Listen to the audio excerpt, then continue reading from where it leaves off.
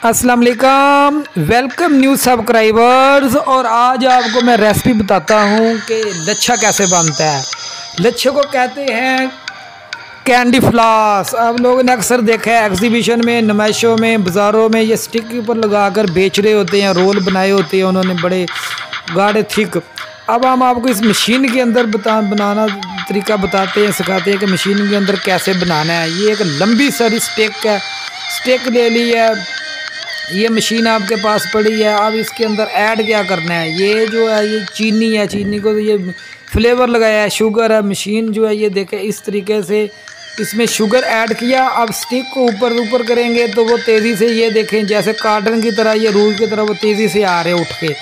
इस तरह ये फिर इसको आपने सर्कल करते जाना है। स्टिक के हम सर्कल करते जा रहे हैं, ये ये देखें कितना प्यारा ये बन गया रोल ये देखें स्टिक को ऐसे घुमाते हैं और शुगर ऐड की। और ये कंप्लीट हो गया, ये देखें अब नेक्स्ट ये स्टिक लिया और उसके ऊपर ये देखें हमने रोल कर लिया।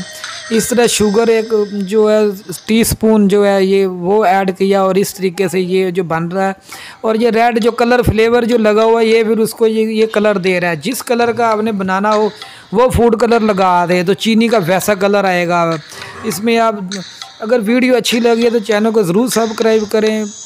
Thanks for watching my video Allah हाफि thanks for watching my video subscribe